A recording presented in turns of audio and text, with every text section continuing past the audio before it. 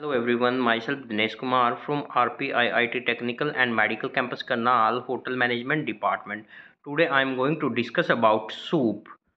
Soup, a liquid dish typically savory and made by the boiling meat, fish or vegetable etc. in stock or water.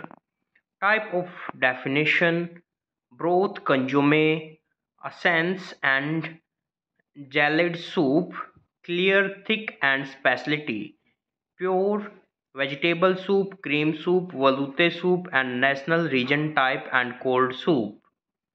If I am talking about the clear soup, a clear soup is one that can see through and that is a liquid at a room temperature. It should contains any vegetables, noodles or chunks of meat, allot chicken noodle soup and minestrone and broth based on low of calorie. They are not clear because they contains ingredient along with the broth. Broth is a savory liquid made up of water in which bones meat fish or vegetables have been summarized and it can be eaten alone but most commonly used to prepare other dishes such as soup gravies and sausage. Consomme in cooking, a consomme is a type of clear soup made from richly flavored stock or bouillons that has been clarified, a process which use egg whites to remove the fat and sediment.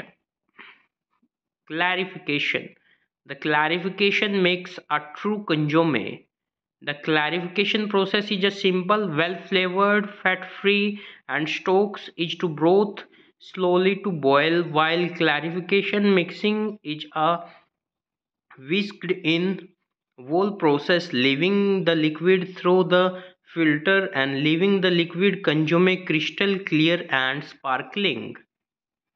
Flavor and color ground or finally chopped vegetable can added flavor in the soup and Madeira or sherry can added flavor to consomme should have a clear tint and meat consomme should be darker than that of chicken or fish. Thickening consomme. Consomme are thickening naturally by their gelatin content egg yolk and fresh cream tapioca and arrowroot. So thank you to all of you. Please like share and subscribe our youtube channel rpiit academics